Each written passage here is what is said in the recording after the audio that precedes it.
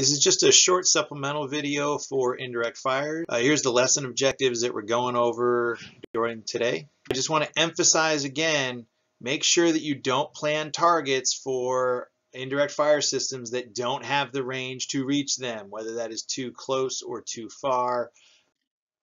Uh, and then you can refer to the table in ATP 3-21.8. It's got a lot of good information and details about those different weapon systems. I want to emphasize two things that you're going to get from higher that'll be contained in the order that you receive, all right, from if you're a platoon leader that you receive from your company commander.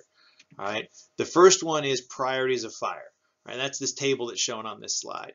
So what this does is go across each phase right, and break down during that phase which sub-element has priorities of fire from which weapon systems. All right, so you can see in the table here, if you're first platoon, then during phase two, you have priority fire for mortars, and during phase four, you have priority fire for the 155 howitzers.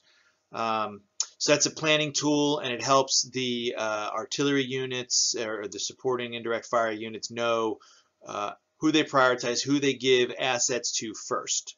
All right. Now, if you don't have priorities of fire, um, you can still request them. Just realize that someone else uh, is going to have priority over you, and if they want something or they need it, they get it first. All right, and that's just how that's going to work. Um, but that lets the uh, guns be laid in and already kind of organized and, and, oriented a certain direction to support someone. So when you do have priorities of fire, you get them fast. Um, the other side of that, like for example, first platoon in phase two. All right, 155 howitzers might be great. All right, and maybe you want to request those because that's a bigger gun, but you have priorities of fires on mortars. So if you put in a request for mortars, you're going to get it. All right, so plan for that. All right, if you put in a request for 155s and you're counting on them, third platoon might want them first and you're not going to get them, or second platoon might request something and, to, you know, the company commander might decide to give it to them. But if you're first platoon, go ahead and use those mortars. Um, but you can still plan targets even when you don't have priorities of fire. And then that helps you also know what's your backup uh, weapon system. So if you're first platoon, your primary is to request mortars. If you can't get the mortars or they something happens to them, your secondary is to request the 155s.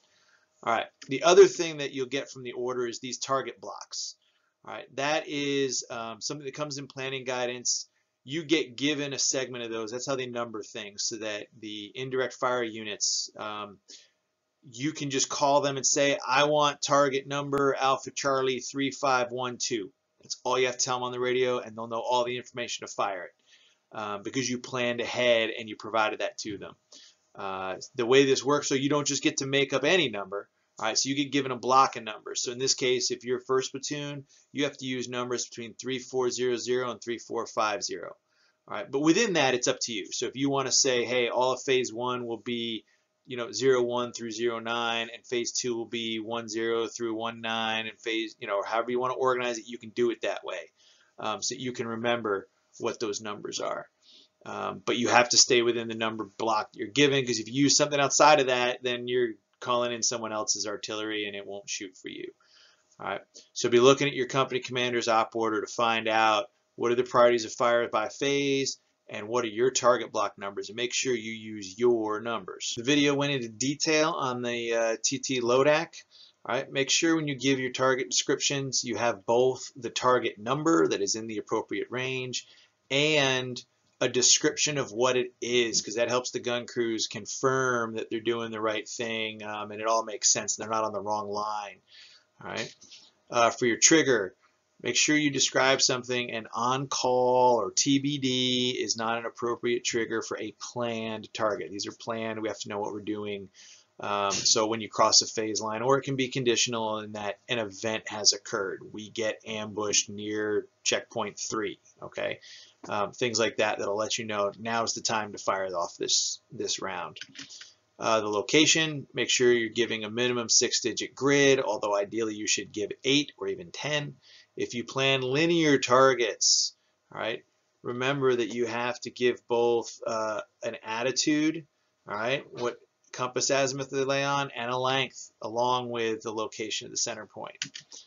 Right, make sure you have an observer, and it doesn't always have to be the FO. All right, any of your squad leaders, yourself, the platoon sergeant, but someone has to be able to observe the round's impact and confirm that the target is destroyed or more rounds are needed or adjust fire. Make sure that that observer can actually see the target. This is something um, a lot of cadets seem to have problems with. They want to just make it the FO, and wherever the FO is, they're somehow supposed to magically see everyone's targets. Um, FO might be with another squad and not able to see a fire mission that's in support of some other squad that he's not with. All right, so be thinking about that. All right, form and delivery. Know what systems you have. Your primary should be something you have priorities of fire for if you have, if you do, um, and partner that up with what makes sense with you actually being able to get it. Uh, your attack guidance, you got to think about what your target is. What kind of fuse do you want? Right. This is also your spot to lay out that you want HE rounds versus smoke. You don't want to mess that up, right? Or if you need illum or some other kind of round. All right. And make sure you're using appropriate fuses that are best suited to the targets that you're trying to face. So if they're inside bunkers and you want that round to go through the roof and detonate on the inside or the inside of a building, you're going to need a delay fuse all right, versus a point fuse, or do you want airburst fuses, all right? And the last thing is your communication channels. Um, you know, it usually just comes out of your uh, signal operating instructions or out of the uh, signal portion of your higher's op order. Be looking for that. There's usually a fires net. You usually want to be on the company net first, and if that fails, go to the battalion. But you might be able to use the ops net or something else um, as your alternates or contingencies for class, I'm giving you an in-class activity. All right. Um, the handouts that are available uh, have these same next couple of slides and the materials to complete it. All right.